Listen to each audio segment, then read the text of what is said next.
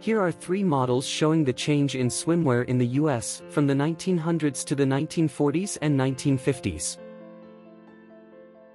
18-year-old Gail Hooper, from Memphis, Tennessee, who was selected to be Miss National Catfish Queen, holding a 56-pound catfish at the New Yorker Hotel, in 1954. Being widely considered to be one of the greatest chess players of all time, here's 21-year-old Bobby Fischer, playing chess against 50 opponents simultaneously in 1964.